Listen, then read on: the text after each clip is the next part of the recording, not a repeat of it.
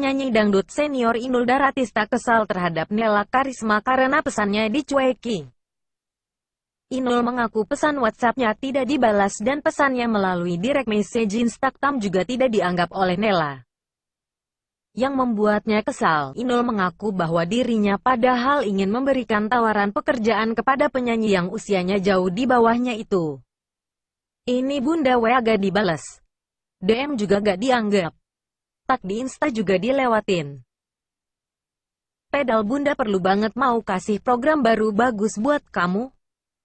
Kok ora dianggap sewong ayu, kok tidak dianggap sih orang cantik, tulis Inul di kolom komentar foto unggahan Ella, yang bertuliskan, malam minggu enak eng apo.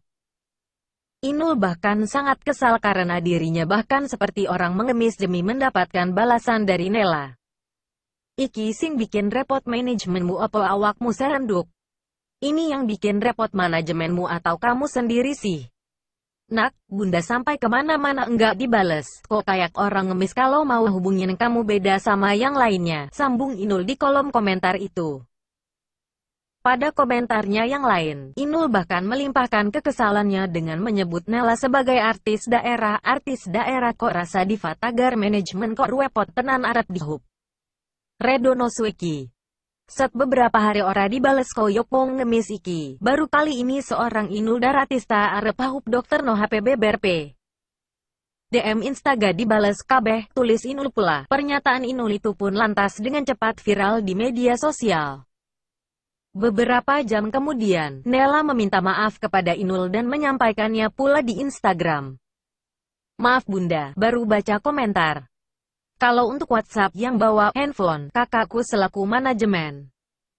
Untuk DM, pesan Instagram jarang kebuka karena tertutup DM yang lain bun. Tulis Nela, Rabu tanggal 9 September tahun 2020. Namun, unggahan foto Nela yang dikomentari Inul kini telah dihapus.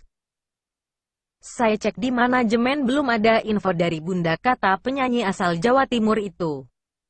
Indozone.td Jadi bagaimana menurut Anda?